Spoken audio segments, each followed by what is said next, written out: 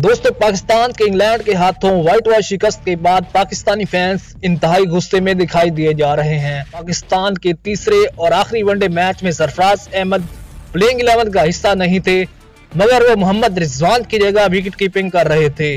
Match के दौरान इबरतनाक शिकस्त के बाद ड्रेसिंग रूम में वापस जाते हुए कुछ लोग पश्तो ज़ुबान में सरफराज अहमद को गालियाँ दे रहे थे। ये वीडियो सोशल मीडिया पर काफ़ी वायरल हो रही है।